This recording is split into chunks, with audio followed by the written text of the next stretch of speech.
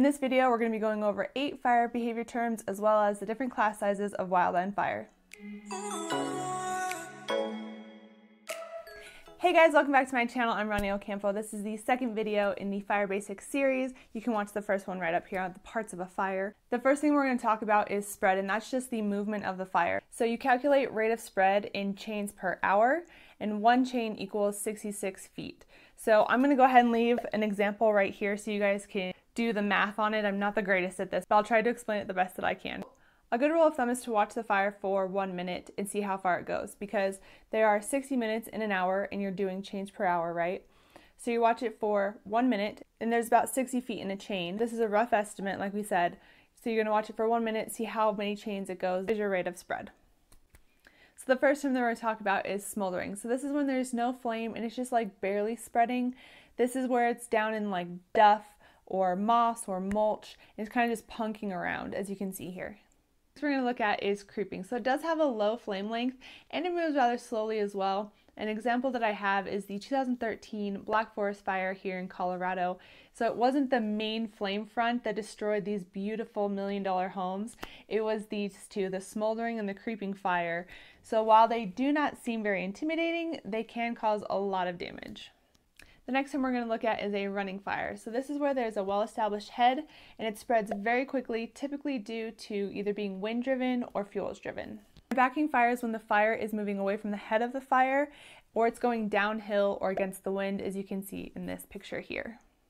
The next thing we're going to talk about is spotting. This is basically where sparks or embers from the main fire get carried by wind or the convection column to start their own fire. And as you can see here, there's different categories of spotting. So you have your short range versus your long range.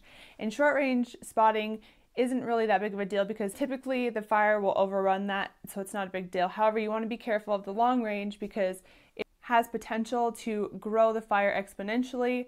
So you have to be careful for the long range spotting. The next term that we're going to touch on is torching. So this is where a single tree or a small group of trees or shrubs torches out. So the whole tree will be engulfed in flames all the way up to the crown. However, that's not a crown fire. If there's spacing around and it's just that one single tree or that small group of trees that start, sets on fire, it's not a crown fire.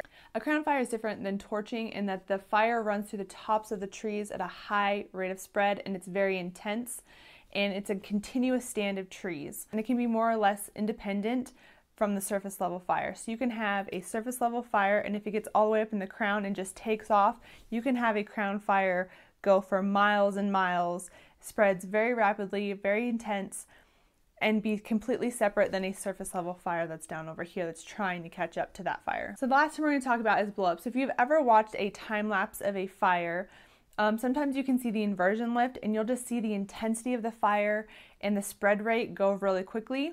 So this is a blow up. Sometimes you can expect a fire to blow up at a certain time, say 2 o'clock, the inversion lifts. We expect to see an increase in fire behavior, but sometimes you get a blow up that's unexpected, and this is just a term that describes the upset of suppression plans that are in place. And then the last thing we're going to touch on is the different class sizes of wildland fires. So as you can see, they range from A to G, and it's good to note that they are measured in acres. I got this information from the S130 training from the National Wildfire Coordinating Group. I have them linked down in the description.